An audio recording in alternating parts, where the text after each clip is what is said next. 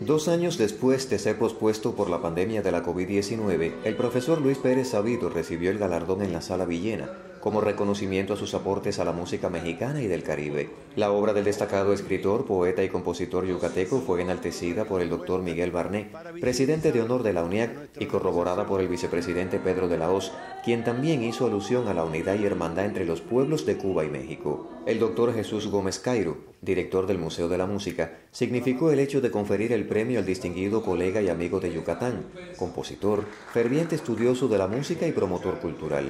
Luis Pérez Sabido recibió el reconocimiento de manos de Luis Morlote Rivas, presidente de la UNIAC, y Marta Campos, vicepresidenta de la Asociación de Músicos. Me siento afortunado de recibirlo en vida a mis 82 años y lo ofrezco en homenaje a todos los que propiciaron esta vinculación cultural entre Cuba y México.